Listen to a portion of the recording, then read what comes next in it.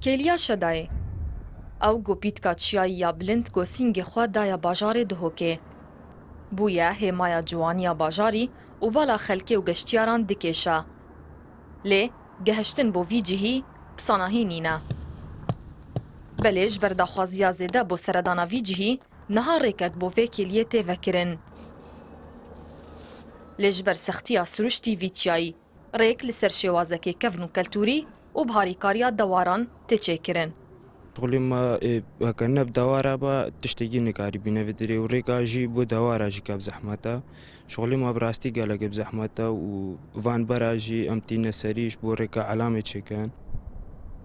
Astengên li pêş wan kesên ku qesta kêliya Şedayê dikin pir in. Ji wan a tûşbûna rûdanên keftinê ji çiyayî. Dezgehê Parastina Alayê Kurdistanê got salê de çend caran qesta çiyayî dikin. Ji bo yixemlandina wî alayê hatiye nexşandin li ser çiyayî. Behsa wan astangan dikin. Gelek asteng di rêkê de hene û me bi gelek asteng birin heta em çûne wê rê çunku rêk ya nexweş bû, hemî kevir bûn.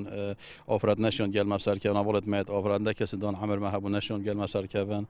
Hindik hebûn vêya bi xêzan ve bihê neşiyand bi ser kevin. Qonaxa yekem ya vê rêkê bi dirêjahiya çar sed metra ye û bi gotina serpereştê projeyî merama wan ji çêkirina vê rêkê bi vî şêwazî ew e, Da ku jîngeh têk neçît. Çêkirina rêkê ye cihên bi hêvendanê ne, dar çandin e. Gelek birîngêdiyê li nav de belê ev e wek me gotî me qonaxayekî dest pê kir.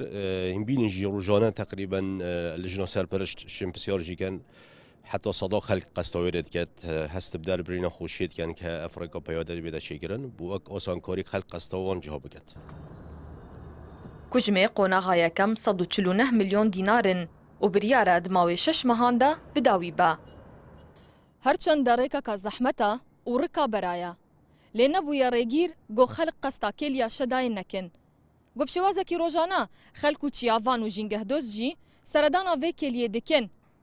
Niha jî rêyeka hezar metran bo xelkê tê vekirin ta ku hatin û çûna wan asantir bibe û tûşî çi rûdanan nebin.